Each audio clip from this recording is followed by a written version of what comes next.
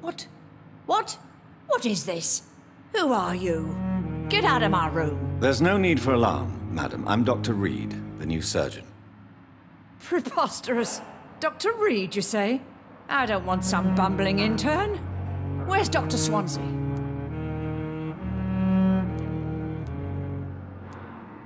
Please, calm down, madam.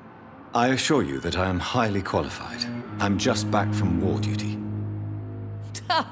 How brave. Threatening an old defenseless woman. You know how long I've been a patient here? You've picked the wrong fight. I'm Harriet Jones. Harriet Jones?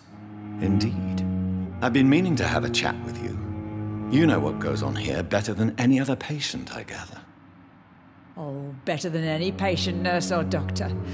I've seen so many vile undertakings. I heard there have been some despicable goings on.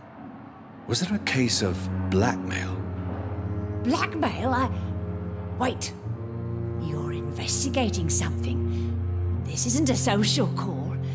One of those incompetent cunts slit a poor sod's vein. I assure you, madam, this is not an investigation into a possible medical error. Debauchery, then? Nurses Crane, Hawkins, Brannigans, Oh, whores, all of them. They can't keep their legs shut. I've seen them scratching slutty sores. Really? Well, if you have irrefutable proof, I'll not have the staff behaving in such a manner here. This is your business, Doctor, not mine.